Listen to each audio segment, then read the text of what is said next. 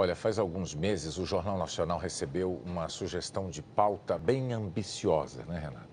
A ideia era produzir uma série de reportagens sobre inovação, a necessidade de inovar, as dificuldades de ser inovador e como o resultado desse esforço pode ser fantástico para quem inova, para um país inteiro, para toda a humanidade. A repórter que trouxe essa proposta de pauta para a gente foi a Sandra Passarinho. E isso é praticamente uma garantia da riqueza das reportagens, porque aqui, na tela da Globo, a Sandra apareceu muitas e muitas vezes trazendo notícias exatamente sobre esse assunto que a apaixona desde o início da carreira. E ao longo desse período, o futuro que ela viu chegar já passou. Há um serviço telefônico aqui que já existe há um ano, mas que é muito pouco conhecido do grande público e que ajuda as pessoas a saberem o saldo da sua conta bancária. O futuro que eu vi no século XX já era, mas ele abriu o caminho para o que chegou no século XXI.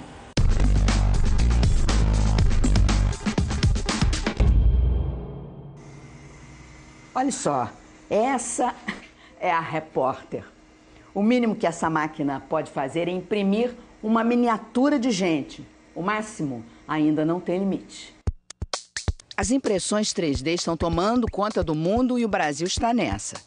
A máquina não imprime letras, e sim camadas de peças em terceira dimensão criadas no computador. Na área da medicina, a impressora 3D se tornou uma ferramenta indispensável. Esse pesquisador cria modelos de medicina fetal no Instituto Nacional de Tecnologia e na PUC do Rio de Janeiro. Além de satisfazer a curiosidade dos pais, a impressão 3D permite identificar problemas no desenvolvimento do feto. O pesquisador começou fazendo o um modelo de seu próprio filho, que hoje está no Science Museum de Londres. Foi o primeiro bebê, primeiro feto impresso em 3D da história, então ele fica lá na coleção permanente. O desafio mais recente do professor Jorge foi a modelagem de uma gravidez de quadrigêmeos com 32 semanas de gestação pudemos avaliar melhor alguns pontos dos bebês e que eu não conseguia ver isoladamente no ultrassom. Eu nunca imaginei passar por, por tanta emoção. Eu senti que eles já estavam assim, onde estava o pezinho de cada um, a cabeça, como o Henrique estava apertadinho.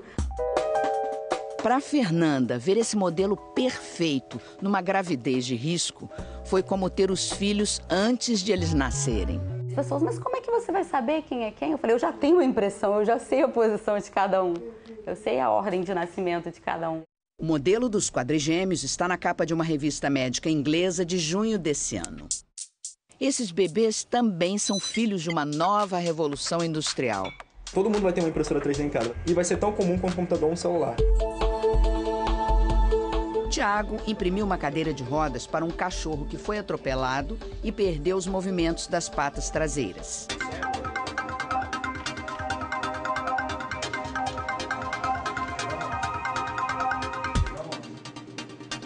Pronto, finalmente, né? Finalmente. Quanto tempo demorou para sair do, da, do forno, melhor da impressora? Então, é, levou uns três meses para a gente fazer tudo, mas com dedicação exclusiva saiu isso em dois ou três dias. Quanto é que custou essa cadeirinha de rodas? Vai deve ter custado menos de, de 80 reais. Agora vai ser o primeiro teste dele na rua? Vai. Vai, né? Primeiro teste. Você viu que ele passou na parte de, de barro, de buraco, testou. As pedras portuguesas, é. no Rio de Janeiro pois tem é, muita. pedra portuguesa. Subida, então tá testando já. Não é exatamente a prova de cadeirinha de roda. É. E como uma inovação puxa outra, os pesquisadores acreditam que o próximo passo na medicina fetal vai ser investigar a vida dentro do útero, navegando com um óculos de realidade virtual. Ideia brasileira. Vamos ver de novo os quadrigêmeos? À medida que você vai chegando mais Isso, perto, exatamente, você consegue é, fazer você essa... aumenta a percepção de determinadas áreas. Você que faz a guia, né? Você é uma viagem, né?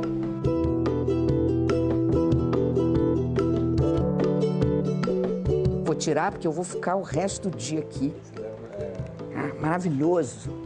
Emocionante, né? E se dá para misturar o ambiente real ao virtual, aqui a aplicação é para engenharia.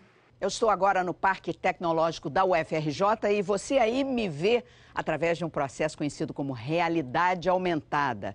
Esse recurso que permite que a gente fique aqui brincando com o mundo real também pode ser usado no dia a dia da nossa vida.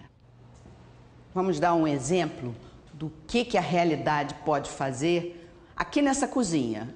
Vamos dizer que a gente queira fazer uma obra nessa parede aqui e a gente não sabe onde passam os fios, onde, onde, é, onde é a eletricidade direito. Então, como é que eu vou enxergar isso? Aqui, ó. Parte onde está passando a, tubo- a parte hidráulica, ó? Hã? Ela está passando exatamente aqui, ó. Nesse lugar. Se eu fizer um furo aqui, eu vou furar um cano de água. Mas para ter essa visão completa, é preciso inserir a planta baixa do imóvel no aplicativo. Ah, imagine se isso já estivesse no mercado. Gisele, sua dor de cabeça mora nessa cozinha. Isso. né? Por que que tá quebrado até agora? Porque teve um vazamento de gás e, a- e depois que a obra toda estava finalizada, a gente teve que voltar e quebrar para descobrir onde era o vazamento. Foi um pedreiro que veio ah, abrir, Isso, fazer a obra, né? Isso, isso. Ele sabia o que tinha aqui? Exatamente não. Uma inovação que poderia reduzir erros. Mas o que falta então para tirar essa inovação do laboratório e transformá-la num produto do mundo real? Toda inovação precisa de um convencimento, porque existe um grupo de pessoas que está apto e ávido por novidades. Tem um grupo de pessoas que só aceita a novidade depois que ela já está testada e comprovada por alguém. E tem os resistentes. É que nem o celular. No início, as pessoas achavam que celular, para que eu vou precisar de celular, uma coisa cara, se tem orelhão em toda a esquina? Há uma linha cruzada atrapalhando a vida do cidadão. Se a gente não tiver vontade de inovar, nunca vai sair do passado.